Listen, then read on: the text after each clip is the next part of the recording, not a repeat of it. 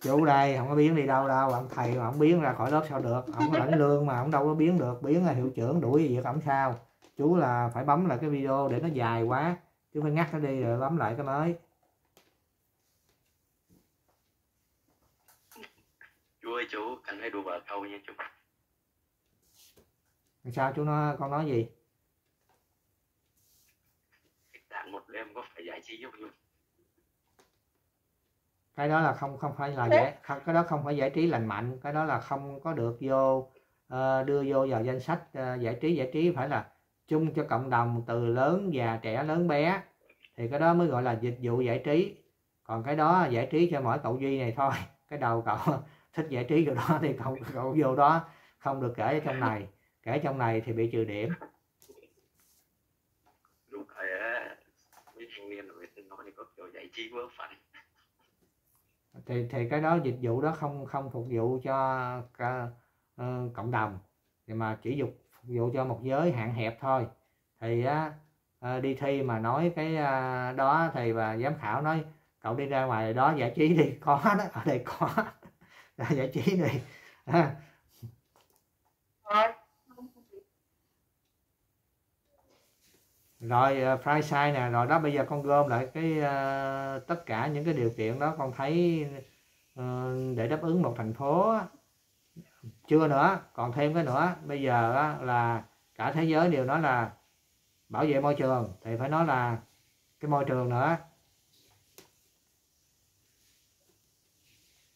Môi trường sống á, nó phải là xanh sạch đẹp á. Con ghi vô môi trường là gì tự nhiên chú quên rồi nha hay là umvết umvết umvết umvết friendly á. Umvết friendly tức là thành phố phải xanh. Thành phố xanh. Năng lượng cũng xanh nè rồi các cái dịch vụ đều sử dụng năng lượng xanh nè rồi nhiều cây xanh. Rồi à, thành phố phải sạch sẽ đừng có mà ô nhiễm như là uh, kênh nhiêu lộc uh, mấy năm trước uh, làm xong sạch bây giờ lại đem thui nữa rồi. Thì đó là không phải là nơi để người ta cảm thấy thành phố đó hạnh phúc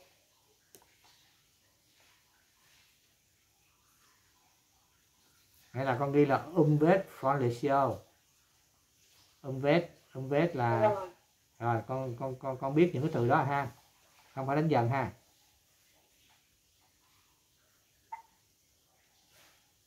Biết không? Biết những từ đó không? Rồi tìm thấy nè pha sang cái boss là được rồi rồi đó, chủ đề đó là chú gợi ý như vậy, một đống đó tha hồ nói luôn, nói sợ nửa tiếng đồng hồ, giám khảo nhức đầu luôn nói thôi chưa, tôi cho cô điểm ờ, xong rồi đó, đậu rồi đó, ra đi, nói nãy giờ nhức đầu rồi đó. Đủ để nói chưa? Đã chưa? Nói nhiêu đó là đã luôn rồi đó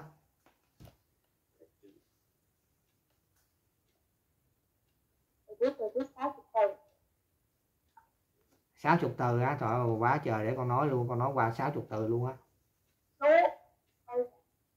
Chú chỉ một cái ờ, một cái cấu trúc khi mình viết một cái câu nói về cái gì đó. Đầu tiên là mình phải nói xong mình dưỡng mình cho ví dụ chứ. Cái con cắm cái mic của con lại đi hồi nãy nói nghe rõ lắm giờ nói nghe nó vang vang chú nghe nó không rõ là chú chỉ cho con một cái câu nói về cái gì giới thiệu cái gì? Ý là con biết cái cái này nhưng mà khi mà con viết á, thì nó bị lan man một chút và bây giờ là khi mà một cái một cái cấu trúc câu mình viết thành một cái đoạn thì mình sẽ nói xong rồi cho dẫn chứng. Rồi ví dụ như đúng. Thì bây giờ con viết cái cái câu đó bên tiếng Việt trước. Con viết tiếng Việt trước. Con đọc con thấy là nó không có lan man mà nó là tập trung chủ đề. Ví dụ bây giờ nói là chủ đề hôm nay uh, chú cháu mình vừa nói chuyện đi ha bây giờ con viết bên tiếng Việt trước rồi xong con dịch nó ra tiếng Đức. Ví dụ con nói là bây giờ một thành phố nào à, cái gì một thành phố nào đạt đủ điều kiện uh, nghe, điều kiện như thế nào để một thành phố được xem là một thành phố mà người ta thấy nơi đó là đáng sống nơi đó là hạnh phúc? Đó viết câu tiếng Việt đó ra trước xong rồi sẽ dịch nó ra tiếng Đức. Rồi đó còn câu thứ hai con với bắt đầu con mới kể là những cái ờ, tiêu chí sau đây để chấm điểm là một thành phố là đạt được đủ điều kiện để người ta cảm thấy là sống nơi đó hạnh phúc bao gồm có. Đó viết cái câu đó ra. Nhớ, nhớ ý chưa? Nhớ ý chưa? Thì hai cái câu đó hai câu đó là nó tập trung vào cái ý đó rồi nó không có lan man nữa không? Hai câu đó nội dung tập trung vào một cái ý là thành phố điều kiện để một thành phố nó đạt được cái danh hiệu là nơi người ta đáng sống như ở Đà Nẵng người ta nói là thành phố đáng sống nhất ờ, Việt Nam gì đó. Đà Nẵng là được mệnh danh thành phố đó rồi đó ha. Chứ Hà Nội với thành phố Hồ Chí Minh là không được mệnh danh vậy mà thành phố Đà Nẵng được mệnh danh rồi đó. Gọi là thành phố đáng sống đó xong có thời gian đó, Đà Nẵng bị cái gì đó người ta đánh giá tuột xuống người ta nói hết đáng sống rồi đó bị cái gì đó ô nhiễm môi trường hay gì đó chứ không nhớ đâu. Người ta nói là bây giờ sao con nói gì? Mới đầu vào chắc con xem cái mic của con hay là tại cái mạng của con nó chập chờn rồi. Nó nghe không được. Ý con là mới nghe thấy vậy bà Ủa,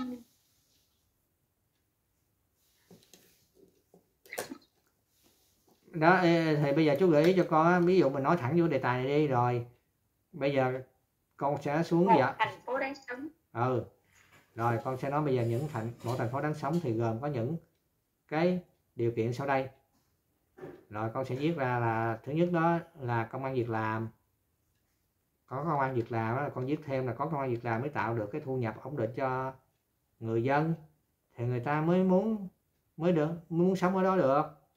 Chứ ở đó thất nghiệp thì lấy gì mà sống? Đó, mình chỉ nói là có công an việc làm.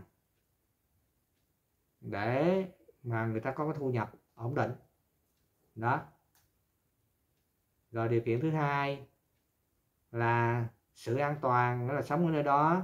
Người ta phải thấy phải cảm thấy là đi ra đường trẻ em người già và cả người dân đi ra đường đều thấy an toàn giao thông nó nó trật tự an toàn đừng có xảy ra những cái gì rồi trộm cắp rồi, rồi những tệ nạn xã hội hút hít gì mà nó đầy dẫy ở ở ở ở thành phố ngóc ngách đó thì ai có cảm thấy hạnh phúc đâu.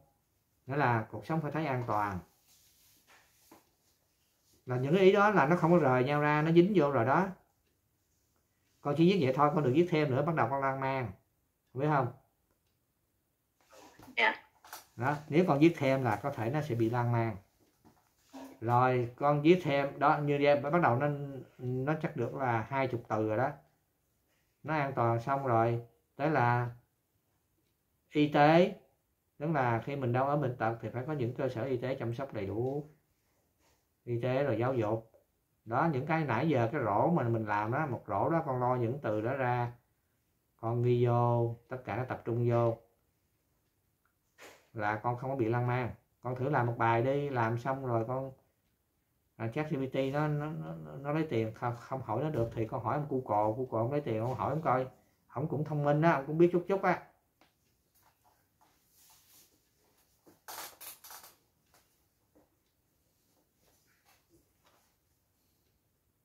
Rồi làm sao để hạnh phúc hơn? Chúng ta sẽ có những nơi để giải trí đúng rồi có những nơi giải trí cho cho tất cả mọi thành phần trong xã hội từ già lớn em bé trẻ nhỏ gì cũng được giải trí. Đó là công viên là nơi công cộng nhất. Rồi chẳng hạn là khu à, những tập hát. Đi xem hát xem kịch đồ. Thì người già trẻ em trẻ nhỏ gì cũng đều coi được hết. Rồi rạp chiếu phim. Rồi khu à, ẩm thực ăn uống rồi khu tập luyện thể dục thể thao những cung văn hóa rồi những uh, những sân vận động thể thao để rèn luyện cơ thể rồi xem đá banh xem những uh, chương trình thể thao mà những chương trình ca nhạc lớn người ta cũng tổ chức ngoài sân vận động ha. Nó mới chứa được nhiều người trong rạp chứ ít lắm. Đó chỉ viết tập trung ha đừng viết lan man nữa ha. Còn nếu con viết uh, dài nữa là con bị đi, đi lạc đề.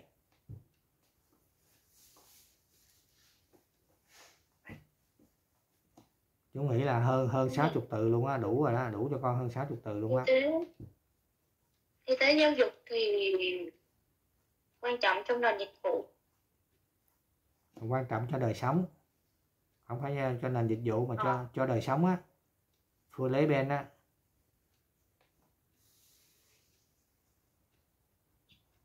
Rồi mua sắm cũng vậy mua sắm thực phẩm mua sắm ờ, các cái vật dụng phục vụ cho đời sống quần áo đồ gia dụng. Là không phải nói là ai khâu phen á ai khâu phen uh, multi sided tức là nhiều nhiều mặt. Un biệt của em. Biết biết cái từ biệt của em không? Biệt của em á là thoải mái. em thoải Ừ, mái. thoải mái thuận tiện đó.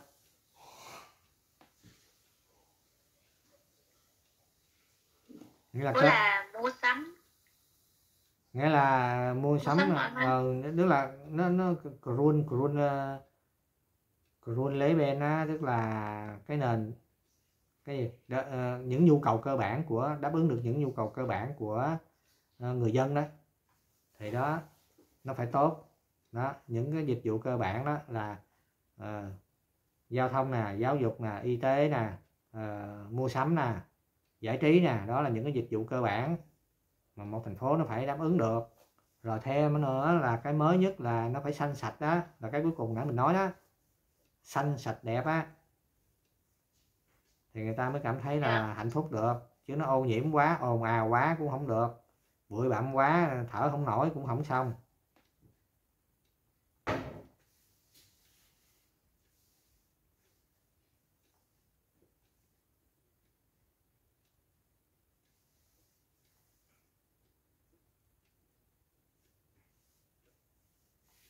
Rồi gom gom điều cơ bản để sống. Là cần phải có những những cái trung ờ, những cái dịch vụ là Fireside and Cabot đó những cái dịch vụ về giải trí đó. Ờ, giải trí vui chơi nghĩa là học tập rồi giải trí vui chơi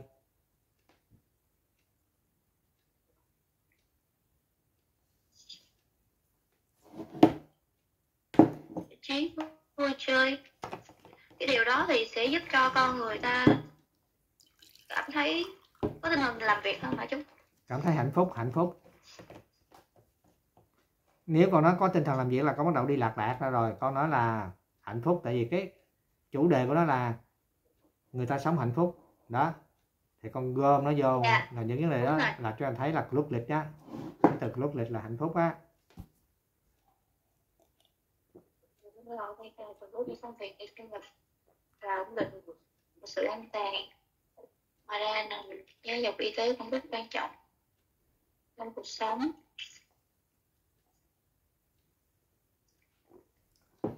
Jun Jun das Leben là à, là kiểu cuộc sống cái đơn giản của cuộc sống này chứ.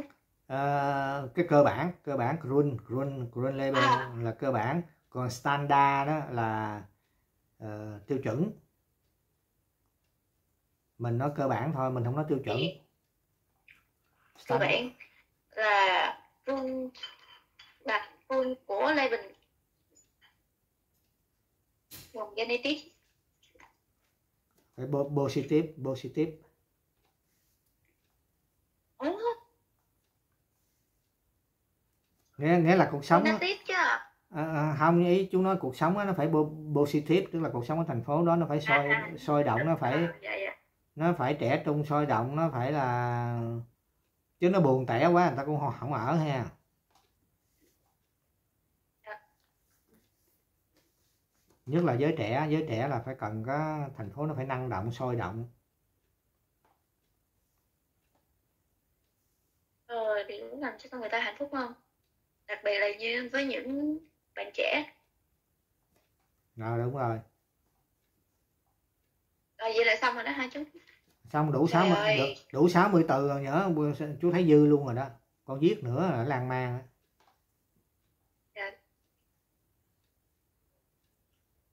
sao kỳ vậy? Sao một mình con nghĩ không ra thì từ từ đi con con cứ đi theo con cứ đi mấy cái buổi sinh hoạt đó hoài. Từ từ á, cái một lúc nào đó cái não con nó tự động là nó nó, nó, nó nghĩ ra hà người ta nó vỡ ra đó vỡ vỡ những cái mà bấy lâu nay nó nó bị bí rị đó.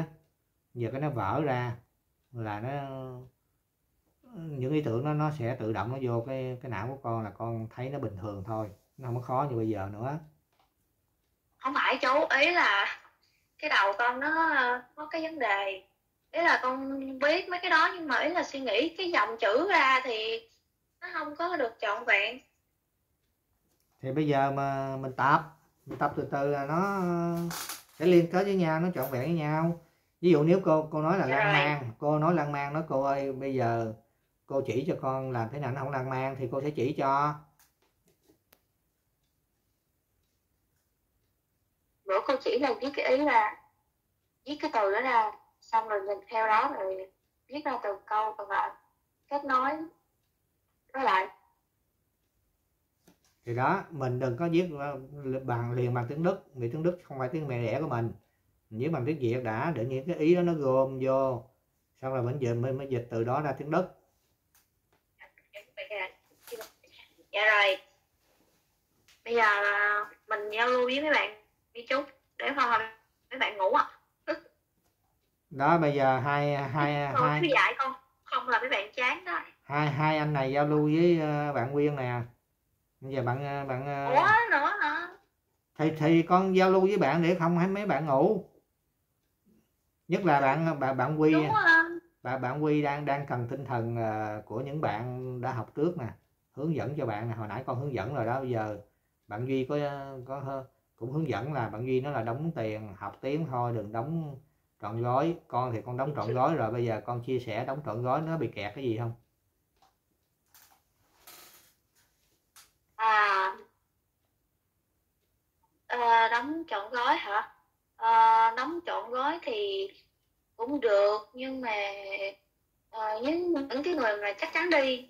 Với lại là khi mà như vậy thì người ta sẽ bao hết bao từ A tới Z từ hợp đồng visa visum các kiểu rồi tiền nhà thuê bản mình chỉ cần mình thi có bằng B1 rồi mình phỏng vấn rồi hợp đồng gửi về. Xong rồi thì mình bao bển có người rước có người rước có người bên trung tâm rước hỗ trợ làm giấy tờ này kia. Trong vòng 3 năm làm việc ở đó nếu mà có cái vấn đề gì đó thì cái uh, trung tâm sẽ hỗ trợ mình trong vòng 3 năm hết hợp đồng thì mình tự do. Rồi. Nhưng mà nếu mà ờ, nếu mà như vậy á, thì có một cái là nhiều khi mấy bạn bạn mà chưa chắc á, học á mà đóng như vậy á thì nó sẽ bị tốn. Tại vì là mấy bạn không có biết là ừ là mình còn phải mình cố gắng mình học hơn. Để nếu mà sao ta? Nếu mà chưa chưa có biết cái tiếng đó, nó như thế nào nó có hợp với mình không nó có dễ so với mình hay là khó không á thì à, mình nên thử học là, là là nên học tiếng thôi còn cái hợp đồng tiếng tính sau kiểu vậy. Tại vì trong trung tâm con có nhiều rồi kiểu mấy bạn học mà bị nản á và đóng kiểu bao chọn gói chọn gói như vậy nè thì bị nản xong rồi bỏ tiền rồi cái nghỉ học. Xong rồi tốn tiền. Bên trung tâm con thì đóng tiền thì nó sẽ chia theo ba phần phần một phần một a một phần hai a hai và phần cuối cùng đó là khi nào mình có cái visa là mình đóng phần còn lại. Vậy là con đóng ờ, từng phần vậy hay là con đóng luôn một ờ, cục? Đóng từng phần á chút nhưng mà nếu mà mình đóng một cục thì nó giảm giá đúng không? Dạ đúng rồi đúng rồi đó và sẽ giảm hình như là mấy phần trăm đó của con là đóng là 250 triệu hay bao nhiêu dạ đúng rồi. 249 nếu chứ như không ờ, 50 ừ, nếu như mà trung tâm họ làm đúng những gì mà họ cam kết trong hợp đồng tức là nếu con có B1 họ tìm được hợp đồng đào tạo rồi qua bên này họ có nhà tìm được nhà cho con luôn rồi 3 năm học họ vẫn theo dõi hỗ trợ cho con luôn á. Nếu họ làm đúng như cam kết như vậy thì 250 triệu là nó xứng đáng dạ còn đúng nếu rồi mà tại vì ừ, thì ờ, có vài học viên bên trung tâm con đã qua bển rồi thì sẽ có một cái giám đốc đối đối, ngoại của con là ờ, lâu lâu là sẽ qua thăm hỏi mấy bạn đó. Rồi ờ, có gì nếu mà cần á thì có thể là điện với cô đó của con để mà ờ, cần giúp đỡ gì đó. Chung là nó cũng có rủi ro lắm chú chứ không phải là à, hay không cũng tùy mình nữa. Tại vì cũng có nhiều trường hợp ờ, qua tới bển rồi. Nhưng mà nhưng mà kiểu uh, theo hợp đồng bên tức là mình làm ờ là người ta quy định như vậy như vậy. Nhưng mà mấy bạn làm sai giống như là một cái trường hợp là đi làm nhưng mà mang dép. Rồi uh, lần thứ hai á, thì vẫn mang dép nhưng mà lại lý do là nói dối. Cho nên là người ta trục xuất người ta không cho học không cho làm việc có cái bàn đó nữa là buộc là, một là phải đi tìm cái bang khác, một cái tỉnh khác để làm. Còn không thì có thể là trục xuất về Việt Nam luôn. Lỗi đó của bạn, các bạn nên nhớ là qua Đức. Đi làm cấm mang dép nha các bạn ha. Cấm mang dép phải mang giày mang tại vì á mang dép, chẳng hạn mình làm rơi cái vật gì trúng cái chân mình á, là mình không lao động được nữa. Bảo hiểm, lao động không bồi thường cho mình, tại vì mình không, gọi là uh, mặc quần áo mang giày dép đúng quy định của người ta. Mà người Việt mình á, là xem nhẹ những việc này xem nhẹ ở Việt Nam á, thì có thể người ta uh, không không bắt lỗi nặng mà ở Đức là bắt lỗi rất là nặng ha. Rồi cái thứ hai nữa là đang học là đã có sự gian dối nói dối. Người ta không chấp nhận chuyện đó. Những cái đó là những cái bài học cho những bạn đi sau. Phải thật là suy nghĩ cho chính chắn vô. Người Đức rất ghét rất là kỵ nói dối ở trong cái việc mà đào tạo nha tha rằng mình nhận lỗi, mình nhận lỗi rồi mình hứa mình sửa chữa. Và mình phải có cái thái độ sửa chữa. Lần đầu người ta đã nhắc là không được mang dép, mà mình lại mang dép lần thứ hai là mình còn nói dối nữa. Hai cái cái đó đó là người ta thấy là mình đã cố ý rất là nhiều rồi. Mình còn cố ý bào chữa cho cái lỗi của mình nữa, người ta không chấp nhận nữa. Đó là người ta làm đúng theo cái là văn hóa của người Đức ha, kỷ luật của người Đức. Người Đức họ học hành và làm việc rất kỷ luật chứ không có lơ tơ mơ. Mà mình qua mà mình không gọi là hòa nhập cái chuyện đó không đáp ứng được điều đó thì người ta có cái quyền người ta đuổi mình. Tại vì trong 6 tháng đầu á là người ta có quyền đuổi mình không có cần mà nói lý do ha. Hoặc là có có quyền nêu, nêu lý do nhưng mà không nêu lý do cũng là đúng hợp pháp luôn. Và ở đây người ta có lý do chính đáng đàng hoàng. Để cái công ty mà đưa mình đi á, không khiếu nại gì được nữa. Người ta có lý do chính đáng thì các bạn á, mà nghe video này á ở Việt Nam á, các bạn chú ý nha. Rồi con biết gì điều gì nữa không? À, nói chung là nếu mà chịu khó tìm hiểu trên báo thì có nhiều trường hợp bị trục xuất bị đuổi lắm. Nhưng mà nhiều khi mình làm nhưng mà nếu mấy bạn đó đó cũng có vài trường hợp là mình đi qua bển mình bất hợp pháp thì cái điều đó là khi mà bên pháp luật Đức nó phát hiện được đó là sẽ ảnh hưởng với những những người mà học hành đàng hoàng để đi qua bển đó, là sẽ bị ảnh hưởng. Tại vì là một con sâu làm sầu mà canh nó chút à, chú biết rồi cái này ở bên này nhiều con sâu lắm làm sầu uh, mấy trăm nồi canh luôn. Để coi một trăm ngàn bây giờ người ta thống kê là hiện tại ở Đức là khoảng có 130 ngàn à, người người Việt sinh sống ha đó là chưa kể những người đã vào quốc tịch Đức thì người ta không không kể đó là người người Việt nữa. Ta kể là người Đức. Thì á, mình phải cộng thêm số mà người Việt đã vào quốc tịch Đức ha. Thì á, là chừng à, vài chục người làm vài con sâu thôi thì 130 ngàn cái nồi ờ, canh này á là có sâu hết á.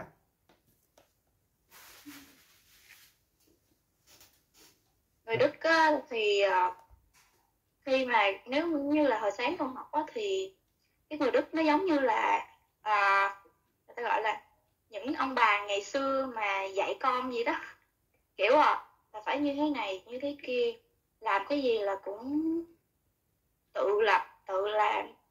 Rồi uh, uh, phải kỹ từng ly từng tí. Nói chung là nó không có như bên Việt Nam mình. Một cái là Đức họ cái cái cái cái cái cái, cái luật pháp của họ gắt ghe khắc khe hơn bên Việt Nam nhiều. À... nên là nhiều khi những bạn trẻ thì uh, cũng có những bạn là không có thích bị ràng buộc. Nhưng mà nếu mà một khi mà chọn đi Đức á, là phải buộc chấp nhận là mình phải còn mình uh, mình phải uh, thay đổi cái bản thân mình hoặc là mình phải uh, học học học hỏi để mình phát triển bản thân mình cho phù hợp. Chứ nhiều bạn nó kiểu uh, đi đi qua được bản rồi thì kiểu tự do thoải mái. Đúng là tự do thoải mái thiệt nhưng mà mình phải tuân theo cái luật của họ.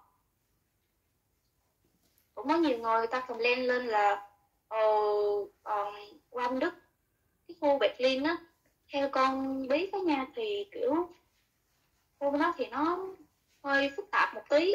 Thì khu đó nhiều người Việt sinh à, người, người nhiều người Việt sinh sống. Mà thì uh, nhiều người Việt sinh sống thì nó kiểu nó bị như là chắc là nó bị việt hóa hay sao đó thì nó nó nó phức tạp nó không có như là những cái bang khác những cái thành phố mà nhỏ nhỏ khác. Điều đó đúng á điều đó đúng đó. À, nếu mà ai ai muốn là sống kiểu Việt Nam lộn nha lộn nhộn á thì có lên Berlin à, người, cộng đồng người Việt Đông ở trển á thì à, nhiều người họ sống kiểu à, rất nhiều kiểu như con sâu. Họ sống kiểu như Việt Nam ha. Họ lách luật này lách luật nọ rồi họ còn nhiều người thì sống nghiêm chỉnh chấp hành luật pháp đức là nó có hết ở trên đó đó. Bị đông mà người việt đông mà. Rồi xã hội nhóm nghĩa là cái cộng đồng người việt ở đức ở berlin là đông nhất thì như vậy thì cái văn hóa ở việt nam đó cũng được phát triển rất là nhiều. Nhưng mà cái tệ nạn ừ, những tánh xấu của người việt mình đã đem theo qua bên đó cũng được phát huy nhiều hơn. Nó trong cộng đồng mà nó phát huy nhiều hơn. Còn khi mình sống với người đức, ở những tỉnh lẻ, ở những thành phố khác thì người Việt ít. Thì mình sống hòa nhập vào với người Đức thì mình phải là chấp hành những cái luật lệ người ta, luật lệ để làm gì? Để cho cả một cộng đồng á, người ta sống nó hòa đồng được với nhau. Tại vì á chín người hết 10 ý rồi nếu không đặt ra những cái luật á thì á, cộng đồng sẽ rất khó mà mà sống chung với nhau được. Giống như mình trong một lớp học á vô lớp mà Ờ, không tuân theo nội quy của lớp á, thì không thể nào lớp học mà học hành nó tử tế nó nghiêm chỉnh được. Không thể nào mà học hành tiến bộ được. Thì mình sống ngoài xã hội đức cũng vậy. À, có một chị ở đó nói anh biết không con em mới qua đức mùa hè. Em mặc bộ bộ đồ bộ em đi chân không. À, em ở à, em ở trên à, trên à, vô nung em đi xuống dưới. Thì một bác nhảy ra bác ấy trừng mắt bảo mày lên ngay trên nhà mày thay đồ cho tao được không? Em rất là ngạc nhiên. Ở Việt Nam con về con tỉnh bơ mà con mang dép lê con mặc đồ bộ này con đi chợ con ăn con uống con mua đủ thứ ông bảo mày về Việt Nam mà mày mặc cái bộ đó nghe, mày ở bên Đức, mày làm ơn, mày mày nghe lời tao đi, mày đừng có cãi, mày lên mày thay đồ khác. Mày xuống đây mày mặc váy gì cũng được mà mày tao cấm mày mặc đồ đồ ngủ của mày, đồ bộ của mày mày đi ra đường, mày biết không? Đó thì chị đó kể với ờ, chú nghe là hồi hồi con mới qua đức con có biết gì đâu. Việt nam sao con sống như vậy? Chú đó trừng mắt, nói con con còn ghét ổng nữa chứ nó có cái ông này. Ổng nghĩ ông ở đức lâu, ổng ỷ là ổng là ma cũ ông mắc ạt ma mới hay sao á ổng trừng mắt ổng bảo mình mình nói vậy ổng còn nói mày đừng có cãi mày lên mày mặc liền cho tao. Thì à, chị nói lúc đó mình mới qua có biết văn hóa đức là cái gì đâu. Người đức họ rất kỵ là mình mặc quần áo ngủ ở trong phòng ngủ đi ra đường ha. Đó là mình không tôn trọng mọi người khác. Đó người ta không thích như vậy. Người ta có thể ra đường người ta mặc bikini người ta đi đầy đường vào mùa hè người ta có thể mặc như thế. Hoặc là mặc um, quần áo nó thiếu vải một chút nghĩa là nó, nó sexy nhưng mà nó là thời trang hè không ai nói. Nhưng mà cái đồ mặc ở trong phòng ngủ là người ta rất là kỵ ha. Ở ở Đức sẽ có những người nóng quá họ mặc bikini ra đường ha. Là người Đức họ coi nó chuyện bình thường chẳng hạn họ vừa vừa đi tắm ở hồ bơi về đó họ khoác một cái uh, cái khăn tròn lên người thôi. Rồi họ đi vô siêu thị họ mua nước uống gì nhanh nhanh nhanh họ đi ra đó. Nhưng mà khỏa thân mà đi vào những nơi công cộng là phạm luật nha đó là bảo là nghĩa là ở Đức có những bãi khỏa thân hay ai muốn khỏa thân thì vô đó khỏa thân. Đó là cái cái cái cái, à, cái văn hóa của họ. Nhưng mà đi ra ngoài nước công cộng là anh phải lịch sự anh phải là kính đáo anh phải ăn mặc làm sao cho nó chỉnh tề để nó không gây cái phản cảm ở ngoài xã hội. Đấy thì người ta mới chấp nhận. Đó bây giờ đi vô rạp hát mà mặc bikini vô người ta không có cho nha người ta đuổi ra. Chứ nói là tự do anh tự do nhưng mà phải trong pháp luật. Đó. à, thì con đi học con nên nói các bạn tham gia những khóa đó biết thêm về văn hóa đức thì mình qua. Mình sống mình học tập mình sẽ thấy mình đỡ bị là áp lực hơn. Chứ mà như con nói đúng là cái bạn đó bị đuổi khỏi bang đó là bang đó nhất là bang bay dền nha bang bay dền khó lắm đó các con. Tiếng ở bên bên Việt mình nói là Bavaria đấy. Berlin á là tại sao người ta nhập chọn người ta dễ? Những bang bên Đông Đức á, là thời xưa là thời Đông Đức thời đông đức là khối xã hội chủ nghĩa. Đó. Thì người ta quen cái kiểu khối xã hội chủ nghĩa hơn. Đó người ta vẫn còn quen cái nếp đó một chút. Còn bên tây đức những cái bang ở bên tây đức là người ta quen khối tư bản chủ nghĩa. Đó mà nhất là, là bang bây giờ là một bang giàu ở đức mà người ta nói là giàu hay sinh lễ nghĩa. Thì cái bang bây giờ cái gì nó cũng khó. Đó. Cho nên là ờ, ngày xưa ở nước đức hiện tại cũng vậy người ta nói bang bây giờ là cái bang mà học trò nó học giỏi nhất tại vì nó học khó ờ, cái bang nó là ban bang khó mà mà cái gì khó thì người ta giỏi. Ta phải đáp ứng được những cái cái vấn đề đó thì ta mới giỏi. Đó nó như vậy đó. Bây giờ nó tức là bang Bavaria đó là thành phố Munich đó tiếng Đức là München đó là cái bang phát triển về công nghệ cao mới ở Đức. Đó, nó phát triển sao nhưng mà nó là phát triển về mũi nhọn về công nghệ. Ở bang đó rất có nhiều hãng xe hơi ở Đức ở đó như là uh, hãng uh, Audi hãng uh, hãng gì đó chú không, chú không nhớ BMW hay hãng gì đó. Nó có mấy hãng xe hơi lớn ở Đức nó đặt. Uh, Mercedes Mercedes. Đấy nó đặt uh, tổng hành dinh nó ở đó. Đó. Cho nên là mình qua mình phải chú ý cái văn hóa Đức mình phải chấp hành luật lệ Đức nhất là kỷ luật lao động và kỷ luật uh, trong học tập ha. Thì mình sẽ phát triển được. Không chỉ mà cũng không chỉ riêng nước Đức nữa chú. Mình đi nước nào mình cũng vậy hết mình bên mình thì mình thoải mái nhưng mà mình đi qua nước người ta thì mình phải uh, tôn trọng người ta. Là nhập gia trị tục á nhất là Singapore còn ác nữa xả rác là, là dính liền á xả rác phạt phạt tiền đô luôn. Nhiều người người ta ý y á. Nghĩa là không không tìm hiểu với lại sống thoải mái kiểu Việt Nam quen rồi qua đây cứ sống theo kiểu đó thì người ta có biện pháp thôi. Nếu anh sống kiểu đó thì tôi không chấp nhận nữa thì tôi trục xuất anh anh về Việt Nam mà anh sống kiểu đó đó. Người ta người ta có cái quyền của người ta mà ha. Mình có quyền của mình thì người ta cũng có quyền của người ta. Tốt nhất là mình nên là uh, nhập gia tùy tục đi thì mình sẽ học tập ờ, được thôi. Nhưng mà chú thấy là mấy cái buổi tổ chức uh, của viện quê thờ đó là đúng kiểu người Đức ha. Họ luôn tổ chức giống như ở bên Đức ha. Những cái bệnh viện á lâu lâu á dạ. bệnh viện và trường học ha. Và cả quỹ ban ha là những nơi công sở đó lâu lâu người ta có một ngày hoặc hoặc là à, à, cứu quả ha sở cứu quả ha người ta có một ngày người ta có bảo là tiếng đức là open tour tức là một ngày người ta mở cửa hết tất cả những cái cơ quan của họ cho người dân vào tham quan miễn tham quan miễn phí. Coi trong đó người ta làm cái gì đó à, người ta hoạt động như thế nào ha. Nhất là những trường chẳng hạn à, những trường mà chuyển cấp, chẳng hạn bây giờ chuyển từ cấp 1 lên cấp 2 thì những trường cấp 2 cấp 3 đó, người ta sẽ đẩy quảng cáo, thảy quảng cáo tờ rơi hoặc là đến thẳng trường là cấp 1 luôn, nói là trường tôi ngày hôm đó sẽ mở cửa cho phụ huynh và học trò, đến tham quan, xem trường tôi phòng ốc như thế nào, sân chơi như thế nào, bể bơi như thế nào, phòng tập thể dục như thế nào. Mọi người hãy đến đó tham quan rồi nếu mà thấy trường tôi là phù hợp, thấy thích trường tôi thì đăng ký vào học ở trường tôi. Đó, còn quỹ ban vậy.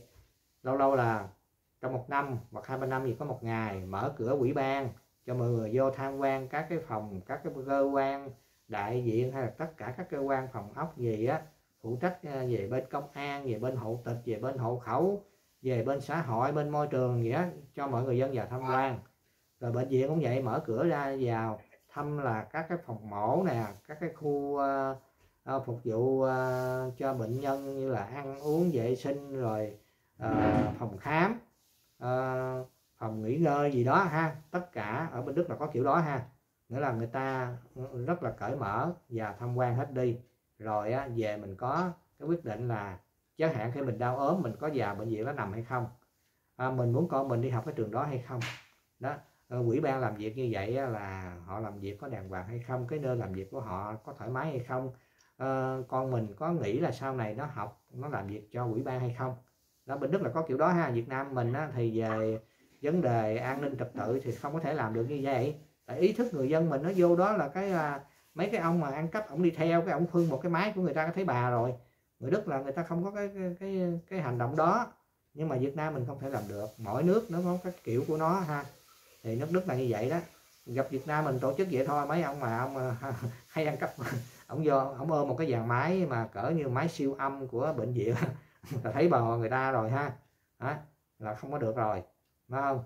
Đó, uh, thì các con nên biết cái văn hóa đức như vậy để mình qua. Nếu các con thích á, qua đọc báo thấy cái ngày nào nó tổ chức vậy á, cái mình đi tham quan. Đó là cũng cách để mình học thêm cái văn hóa đức á, mình vô đó mình tham quan.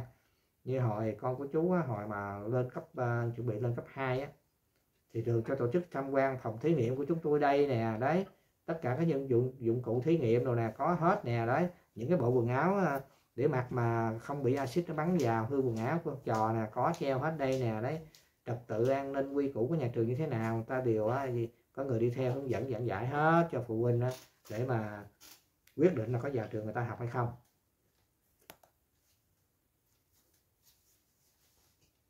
Đúng rồi. Từ cho con hỏi à, cái chữ cái chữ bao gồm là chữ dùng cái à, động từ nào vậy chú? In- inclusive. Hoặc là uh, nếu mà nói là susamen đó là là là là tổng cộng lại hết. Inclusive là nó là, là, không con con đang làm cái câu dẫn chứng là that typical level in the start à, bao gồm. Rồi con dùng chữ bao gồm vô đó phải không? Thì con con chỉ Dạ. dùng con dùng từ sinh thôi. Ở đây con con dùng từ sinh thôi là đủ rồi. Thì là những cái Thì- điều này sinh. Đó. Dùng cái động từ sinh ở ngay sau đó là đủ rồi đó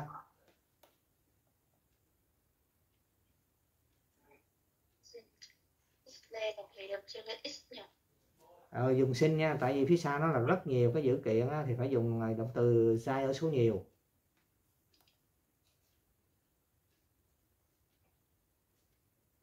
Vậy là level mình sẽ chia ở số nhiều. Không lê bền nó là một động mà một danh từ ờ, ờ, ờ, phía trước. Nó không phải nó, lê bền nó là một động danh từ, danh từ nó cũng ở, số nhiều rồi lê bền là nó nhiều cái dữ kiện trong đó nhưng mà con nói sin á là để những cái vấn đề dưới này con sẽ mô tả nó ra. Biết không còn nếu con nói x thì chỉ có một vấn đề thôi. Con nói sin á là người ta biết ở dưới sau cái phần cái câu đó sẽ có rất nhiều vấn đề được nói ra. Giờ con hiểu chỗ đó chưa? Nó không có dính ờ, ờ, tới cái chia của cái lê bền ở phía trước. Nó không dính tới cái đó. Xong rồi mình pass ra đúng không ờ rồi xong rồi mình bắt đầu mình mô tả ra ở dưới gồm có những cái gì?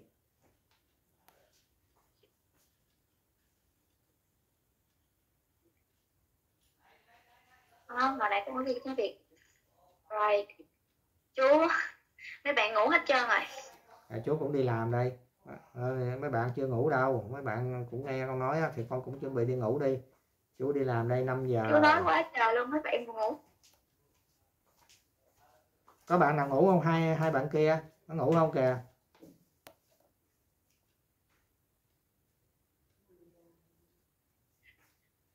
Thấy chưa? Con nói ngủ hết trơn rồi.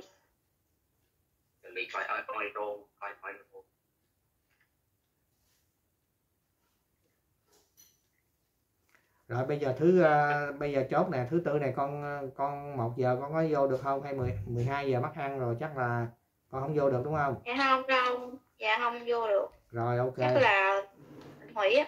Cancel á rồi rồi thứ tư là không vô. Thì chú chỉ ờ, ghi nè ghi ờ, thứ tư này á vào lúc 1 giờ trưa giờ Việt Nam á, thì sẽ có một bạn ờ, đang ở Đức.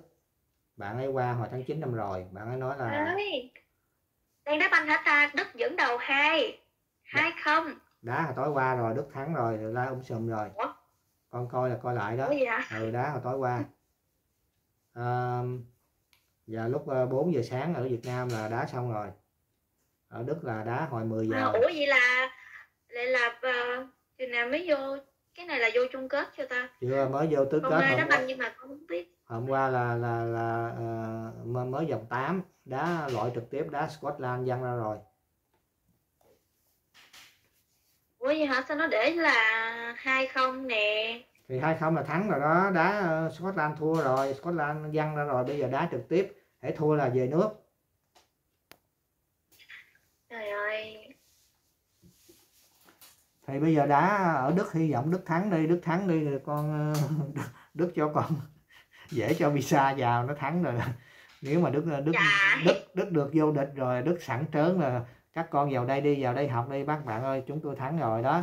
Còn đúng rồi khi người ta vui người ta cũng ờ, rộng rãi hơn không? Rồi bây giờ chú nói vài câu rồi um, chú đi làm chuẩn bị đi làm. À, am a- am mít vót um ác ua. À, nay um trái sen ua. À, hát tu sai duy. Sen à nay trái sen ua am am am mít vót mít vót trái sen ua lái xe nua. Là chú- nói con nãy giờ rồi là một giờ trưa thứ tư ấy thì bạn ấy sẽ Dạ. muốn chia sẻ kinh nghiệm của bạn về học tiếng Đức cho các con tại vì bạn ấy qua hồi tháng 9 năm rồi. Nhưng mà không có được chú ơi chắc là mấy bạn khác tham gia được á. Chú không báo với mấy bạn lên ờ, nhóm á. Thì chú ờ, thông báo ở đây luôn đó rồi mà ai ai vào được thì vào duy con có rảnh không thì con vào thì bạn ấy sẽ chia sẻ tại vì các con muốn đặt câu hỏi gì với bạn á, thì đặt hỏi trực tiếp. Dạ. Bạn là người miền Nam hay miền miền Bắc chú bạn ở ờ, Độc Tháp. À trời ơi. Con quê với ờ, chị của chị chung phòng với con. Ừ bạn ờ, bạn qua đây hồi tháng 9 năm rồi đó thì bạn ờ, qua làm nhà hàng khách sạn á, theo chương trình của AHK đó tức là chương trình AHK con biết không? Dạ không. Chương trình AHK là nếu ai học nhà hàng khách sạn các bạn ở Việt Nam đi làm 2 năm thì AHK Việt Nam sẽ dạy tiếng cho bạn. Không tốn tiền rồi tìm hợp đồng cho bạn không tốn tiền. Bạn nói con qua đây á con chỉ có mỗi tốn tiền mua vé máy bay thôi. Visa đồ á là, Wow. là AHK lo hết thì bây giờ bạn làm bạn nói bây giờ con được là lãnh lương 100% luôn rồi.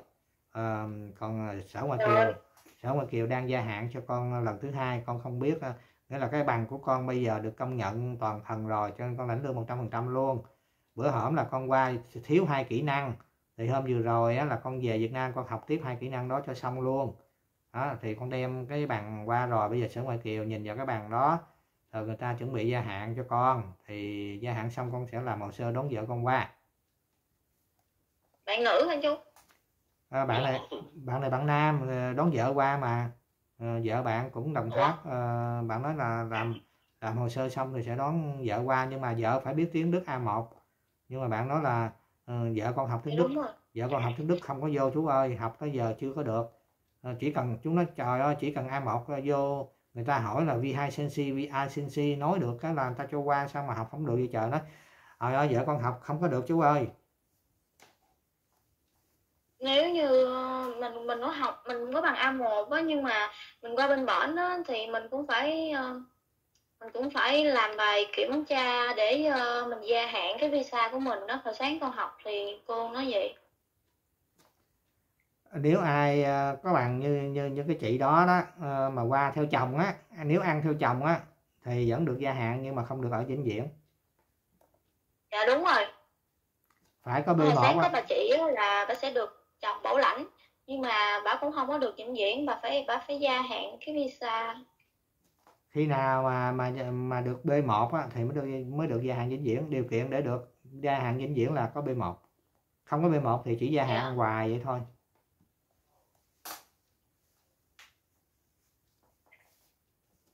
thì các con á tại sao chú nói là các con học học tiếng Đức ờ, rồi qua học xong là được vĩnh viễn tại các con có B1 mà?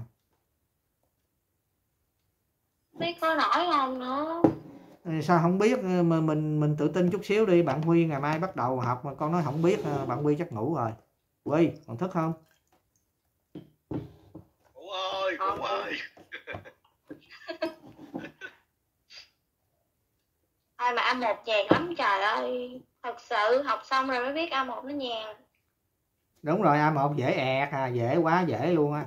Đó hồi nãy con nói với bạn Huy là con nói cái đó là A1 nói tỉnh queo thấy không? Nói không cần suy nghĩ mà. Ông học em tiếng Trung Quốc kìa. mà cậu Huy bỏ tiếng Ờ, Trung Quốc đi nha cậu- cậu cậu Huy á. Ê, cậu Duy á bỏ tiếng Trung Quốc ờ, chưa? Chú nói con bỏ con bỏ chưa con không học tiếng Trung Quốc mà con học uh, tiếng uh, Ấn Độ gì đó Ấn Độ giáo gì đó. Con cũng đâu đâu học tiếng Ấn Độ đâu. Chắc chú lộn với cái anh nè cái anh uh, dưới này, này anh Huy. Anh Huy này anh không có học. Có một bạn nào á nói là thấy tiếng uh, tiếng Hindu gì đó hay lắm. Uh, có học thêm á chú nói con bỏ đi. Bỏ đi con học mỗi tiếng Đức thì chú đi. Qua Đức rồi con học tiếng đó cũng được. Con gian hai chân vậy á con học tiếng Đức nó không có đâu với đâu đó anh Huy quê đâu vậy ta? Nghĩ là miền Tây. Đúng rồi miền Tây. Nhưng mà ở tỉnh nào á? Không hát sắc đó nữa sắc đó. ủa Long An trời, trời ơi. Long An thì hay có thịt bò mốt à, mốt chú về á chú kêu anh Huy dẫn đi ăn thịt bò nha. Bỏ bánh tráng thôi bỏ ủa bánh tráng cho anh em mà bé bé củ chi á nó thịt bò nuôi tăng trọng mà, mà xuất từ Campuchia về ăn ăn chết luôn nó có khô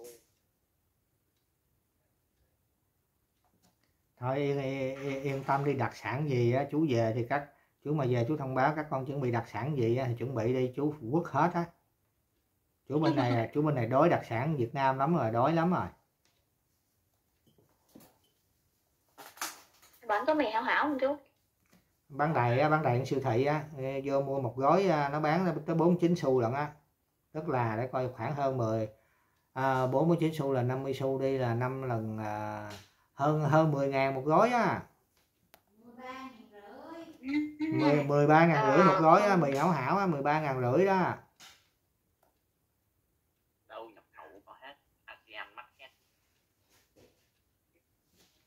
Bây giờ mấy siêu thị á, nó nhập mì gói nó bán cho tay luôn rồi. Nó biết ta tay bây giờ nó biết ăn mì gói rồi hồi đó nó không biết nha nó nhập nó bán ế lên ế xuống nha. Giờ nó nhập mì hảo hảo rồi à, à, mấy cái mì gì của Việt Nam rồi nó cũng nhập đầy để đầy tệ á. mì à, dăm dăm ở dăm dăm Đức dăm dăm như bên Đông Đức chỗ hình như Đông Xuân. Nhá luôn Đông Đức á, là là ở Leipzig thì có đồng Xuân Mát rồi ở ờ, ờ, Berlin cũng có đồng Xuân Mát tức là chợ Đồng Xuân á. Ờ, lấy cái tên của chợ Đồng Xuân ngoài Hà Nội đó.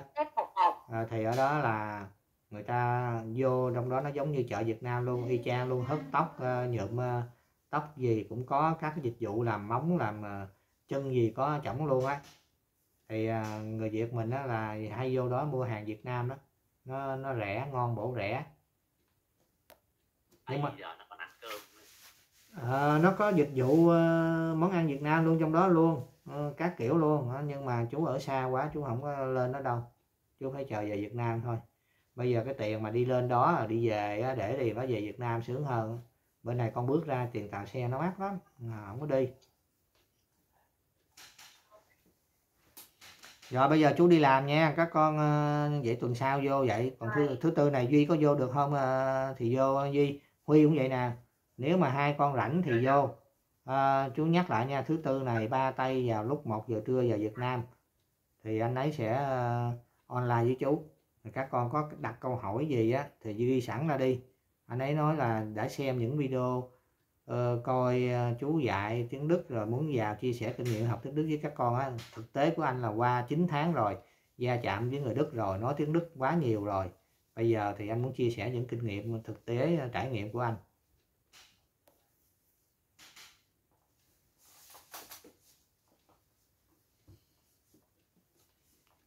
Rồi chúc các con ngủ ngon bye nha. bye chú. Rồi bye bye. Rồi à, hẹn chủ nhật Dạ. tuần sau. Của thành nát Schönen sơn sơn tha sơn nát hả? Sơn nát đó là không phải là ngủ ngon. Ngủ ngon là ngủ ngon. Sơn nát chỉ là sơn nát chỉ là một đêm đẹp thôi. Còn ngủ ngon là cú thinh nát Schönen Tag sơn sơn thác bây giờ. Tag sơn thác. Thì cái câu đó còn nói với chú được vì ở đức á, nó đây vẫn còn đang ở thác còn nói với hai bạn kia phải nói là sơn sơn nát.